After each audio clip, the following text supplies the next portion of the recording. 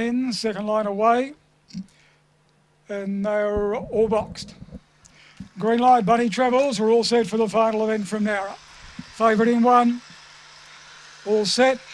Ready and racing, clear last out, Kitty Desire, Little Miss Harley only moderately away, Contessa Munro and Paris Cruz vie for an early lead, Get It Dirty's raced up three wide, uh, Little Miss Harley works up behind them, then came Kitty Desire, Ritza Show, Bugatti Sniper, Harley Irregular coming to the home corner, getting a break now, Contessa Munro over Little Miss Harley and Contessa Munro won the last from Little Miss Harley and Paris Cruz, fourth home of the race, Give It the Ritza Show, they're followed in by Kitty Desire, Bugatti Sniper and Get It Dirty drop And by Dinah Lachlan at a Heather's Gem, raced by Jay Ferguson and trained by Wayne Atwell.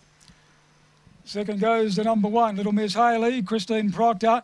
Moderate starters by three and three quarters for the margins.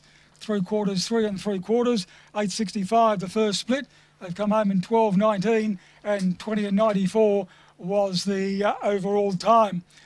So uh, Contessa Munro, Paris Cruz, I got into a real speed drill in the early part. Probably bored Paris Cruz undone. Little Miss Harley was moderately away. She was beaten for speed. She worked up behind the leaders off the Tom corner, and uh, then they opened right up before the turn, gave her a chance to run down Contessa Munro, but she just wasn't good enough. She's failed by just under a length, and Contessa Munro's. Uh,